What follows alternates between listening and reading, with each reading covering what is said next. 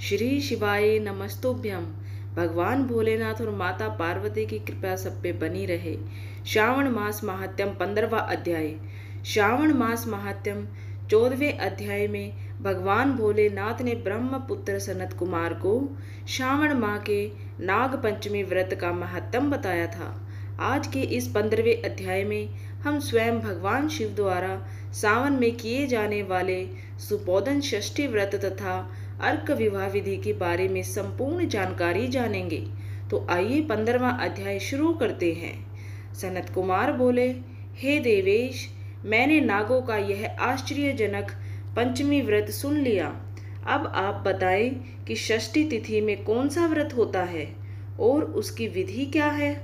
ईश्वर बोले, हे विपेंद्र, श्रावण मास के शुक्ल पक्ष में षष्ठी तिथि को महामृत्यु का नाश करने वाले सुपोदन नामक शुभ व्रत को करना चाहिए। शिवालय में अथवा घर में ही प्रयत्न पूर्वक शिव का पूजन करके सुपोदन का नैवेद्य उन्हें विधि पूर्वक अर्पण करना चाहिए। इस व्रत के साधन में आम्र का लवण मिलाकर शाक और अनेक पदार्थों के नैवेद्य अर्पित करें। साथ ही ब्राह्मण को वायन प्रदान करें। जो इस विधि से व्रत करता है, उसे अनंत पुण्य मिलता है। इस प्रकार, इस प्रकरण में लोग एक प्राचीन कहानी सुनाते हैं, जो इस प्रकार से है। प्राचीन समय में रोहित नाम का एक राजा था। काफ़ी समय बीतने के बाद भी उसे पुत्र रत्न की प्राप्ति नहीं हुई। तब पुत्र की अभिलाषा में उस राजा ने अत्यंत ही कठोर तप किया। ब्रह्मा जी ने राजा से कहा, तुम्हारे प्रारब्ध में पुत्र नहीं है। तब भी पुत्र की लालसा में वह राजा अपनी तपस्या से जरा भी विचलित नहीं हुआ। इसके बाद राजा तपस्या करते करते संकट ग्रस्त हो गए। तब ब्रह्मा जी पुनः प्रकट हुए और कहने लगे, मैंने आपको पुत्र का वर तो दे दिया है, लेकिन आपका यह पुत्र अल्पायु होगा। तब राजा तथा उनकी पत्नी ने विचार किया कि इससे रानी का बांझपन तो दूर हो जाएगा। संतानहीनता की निंदा नहीं होगी। कुछ समय बीत जाने के बाद ब्रह्मा जी के वरदान से उन्हें पुत्र प्राप्ति हुई। राजा ने विधि पूर्वक उसके जातकर्म आदि सभी संस्कार किए। दक्षिणा नामक वाली उस रानी व राजा ने अपने पुत्र का नाम शिवदत्त रखा।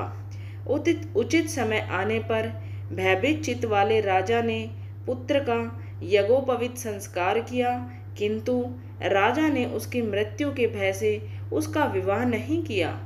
तदंतर सोलहवें साल में उनका पुत्र शिवदत्त मृत्यु को प्राप्त हो गया।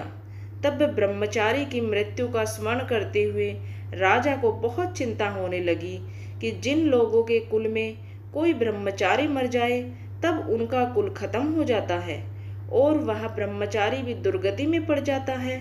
सन्नत कुमार बोले, हे देवदेव देव हे जगन्नाथ, इसके दोष निवारण का उपाय है या नहीं? यदि उपाय है तो अभी बताए, जिससे दोष की शांति हो सके।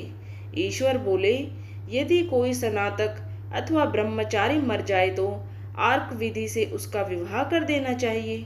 इसके बाद उन दोनों ब्रह्मचारी तथा आग को परस्पर संयुक्त कर देना चाहिए। अब अर्क विवाह की विधि कहते हैं, मृतक का गोत्र, नाम आदि लेकर देशकाल का उच्चारण करके कहें कि मैं मृत ब्रह्मचारी के दोष निवारण हेतु वैसर्गिक व्रत करता हूँ।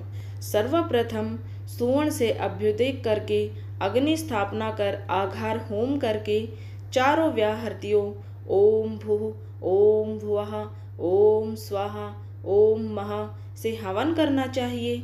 इसके बाद व्रत अनुष्ठान के उत्तम फल के निमित्त व्रतपति अग्नि के संपादनार्थ विश्व देवों के लिए घृत की आहुति डालें। उसके बाद श्रेष्ठकृत होम करके, अवशिष्ट होम संपन्न करें। पुनः देशकाल का उच्चारण करके इस प्रकार बोले, मैं अर्क विवाह करूँगा। उसके बाद सुवर्ण से अभ्युदय कृत्य करके अर्क शाखा तथा मृतक की देह को तेल तथा हल्दी से लिप्त करके पीले सूत से वैष्ठित करें और पीले रंग के दो वस्त्रों से उन्हें ढक दें। इसके बाद अग्नि स्थापना करें और विवाह विधि में प्रयुक्त योजक नामक अग्नि में आघार होम करें। वह अग्नि के लिए आज होम करें। उसके बाद चारों व्याहृतियों से ओम भू, ओम वह, ओम स्वाहा, ओम महा, बृहस्पति तथा कामदेव के लिए आहुति प्रदान करें। पुनः घृत से स्विष्टकृत होम करके संपूर्ण हवन कर्म समापन करें। उसके बाद आग की डाली तथा मृतक के शव को विधि पूर्वक जला दे। मृतक अथवा म्रियमाण के निमित्त छह वर्ष तक इस व्रत का अनुष्ठान करना चाहिए। इस अवसर पर तीस ब्रह्मचारियों को नवीन कौपिन वस्त्र प्रदान करना चाहिए और हस्त प्रमाण अथवा कान तथा लंबाई वाले दंड तथा कृष्ण मर्ग चर्म भी प्रदान करने चाहिए। उन्हें चरण पादुका छत्र माला गोपी चंदन प्रवाल मणि की माला तथा अनेक आभूषण समर्पित करने चाहिए। इस विधान से व्रत करने पर कोई भी विघन नहीं होता है। ईश्वर बोले, ब्राह्मणों से यह सुनकर राजा ने मन में विचार किया कि यह अर्क विवाह तो मुझे गौण प्रतीत होता है। मुख्य नहीं, क्योंकि कोई भी व्यक्ति मरे हुए को अपनी कन्या नहीं देता है। मैं राजा हूँ, अतः मैं उस व्यक्ति को अनेक रतन तथा धन दूँगा।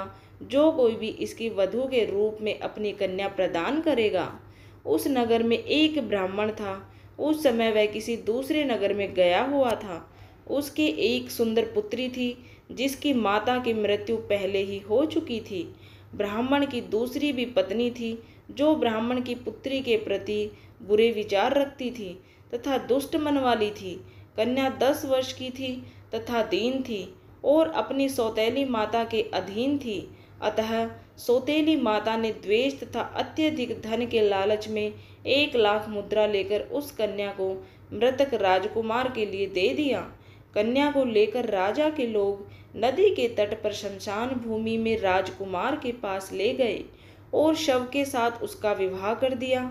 इसके बाद विधान पूर्वक शव के साथ कन्या का योग करके जब वे जलाने की तैयारी करने लगे, तब उस कन्या ने पूछा हे सज्जनों, आप लोग यह क्या कर रहे हैं? तब वे सभी दुखित मन से कहने लगे कि हम लोग तुम्हारे इस पति को जला रहे हैं। इस पर भयभीत होकर बाल स्वभाव के कारण रोती हुई उस कन्या ने कहा, आप लोग मेरे पति को क्यों जला रहे हैं? मैं जलाने नहीं दूँगी। आप लोग सभी यहाँ से चले जाइए। मैं अकेली ही यहाँ बैठी रहूँगी। और जब ये उठेंगे तब मैं अपने पतिदेव के साथ चली जाऊँगी। उसका हट देखकर दया के कारण दीन चित्त वाले कुछ भाग्यवादी वृद्ध जन कहने लगे, अहो, होनहार भी क्या होता है? इसे कोई भी नहीं जान सकता। दीनों की रक्षा करने वाले तथा कृपालु भगवान ने न जाने क्या करेंगे? सौत की पुत्री का भाव रखने के कारण सौतेली माता ने इस कन्या को बेचा है। अतः संभव है कि भगवान इसके रक्षक हो जाए। अतः हम लोग इस कन्या को व इस शव को नहीं जला सकते। इसलिए सभी को अच्छा लगे तो हम लोगों को यहाँ से चले जाना चाहिए। परस्पर ऐसा निश्चय करके वे सब अपने नगर को चले गए। बाल स्वभाव के कारण यह सब क्या है? इसे ना जानती हुई भय से व्याकुल वह कन्या एकमात्र शिव तथा पार्वती का स्मरण करती रही। उस कन्या के स्मरण करने से सब कुछ जानने वाले तथा दया से पूर्ण हृदय वाले शिव पार्वती शीघ्र ही वहाँ आ गए। नंदी पर विराजमान उन तेज निधान शिव पार्वती को देखकर उन देवों का न जानती हुई भी उस कन्या ने पृथ्वी पर दंड की भांति पड़कर प्रणाम किया तथा उसे आश्वासन प्राप्त हुआ कि पति से तुम्हारे मिलने का समय अब आ गया है। तब कन्या ने कहा कि मेरे पति अब जीवित नहीं होंगे। उसके बाल भाव से, प्रसन्न तथा दया से परिपूर्ण शिव पार्वती ने कहा कि तुम्हारी माता ने सुपोदन नामक व्रत किया था। उस व्रत का फल संकल्प करके तुम अपने पति को प्रदान करो। तुम कहो कि मेरी माता के द्वारा जो सुपोदन नामक व्रत किया गया था उसके प्रभाव से मेरे पति जीवित हो जाए। तब कन्या ने वैसा ही किया और उसके परिणाम स्वरूप शिवदत्त जीवित उठ खड़ा हो गया। उस कन्या को व्रत का उपदेश देकर शिव तथा पार्वती अंतर्धान हो गए तथा तब शिवदत्त ने उस कन्या से पूछा, तुम कौन हो और मैं यहाँ कैसे आ गया? तब उस कन्या ने उसे वृत्तांत सुनाया और रात हो गई। प्रातः होने पर नदी के तट पर गए। लोगों ने राजा को वापस आकर कहा कि, हे राजन, आपका पुत्र व पुत्रवधु नदी के तट पर स्थित हैं। विश्वस्त लोगों से यह बात सुनकर राजा बहुत खुश हुए। वह हर्ष भेरी बजवाते हुए नदी के तट पर गया। सभी लोग प्रसन्न होकर राजा की प्रशंसा करने लगे। वह बोले, हे राजन मृत्यु के घर गया हुआ आपका पुत्र पुनः लौट आया है। इस पर राजा पुत्र वधु की प्रशंसा करने लगे और बोले कि लोग मेरी प्रशंसा क्यों कर रहे हैं? प्रशंसा के योग्य तो यह वधु है। मैं तो भाग्यहीन तथा अधम हूँ। धन्य और सौभाग्यशालिनी तो यह मेरी पुत्र वधु है, क्योंकि इसी के पुण्य प्रभाव से मेरा पुत्र जीवित हुआ है। इस प्रकार अपने पुत्र वधु की प्रशंसा करके राजा ने दान तथा सम्मान के साथ श्रेष्ठ ब्राह्मणों का पूजन किया और ग्राम से बाहर ले जाए गए। मृत व्यक्ति के पुनः ग्राम में प्रवेश कराने से संबंधित शांति की विधि को ब्राह्मणों के निर्देश पर विधि पूर्वक संपन्न किया। हे वत्स, इस प्रकार मैंने आपसे यह सुपोदन नामक व्रत कहा। इसे पाँच वर्ष तक करने के अनंतर उद्यापन करना चाहिए। पार्वती तथा शिव की प्रतिमा का प्रतिदिन पूजन करना चाहिए और प्रातःकाल आम के पल्लवों के साथ चरु का होम करना चाहिए। साथ ही नैवेद्य तथा वायन अर्पित करने चाहिए। मनुष्य यदि व्रत की बताई गई इस विधि के अनुसार आचरण करे तो वह दीर्घजीवी पुत्र प्राप्त करके मृत्यु के बाद शिवलोक जाता है। इस प्रकार श्री सकंद पुराण के अंतर्गत ईश्वर सनत कुमार संवाद में श्रावण मास महात्म में सुपोदन षष्ठी व्रत कथन नामक पंद्रवा अध्याय पूर्ण हुआ। हर हर महादेव, जय शिव शंभु। अगर आपको ये वीडियो पसंद आई है तो वीडियो को ज़्यादा से ज़्यादा लाइक और शेयर करें। और हाँ अगर अभी तक आपने चैनल को सब्सक्राइब नहीं किया है तो जल्दी से चैनल को सब्सक्राइब कर लीजिए।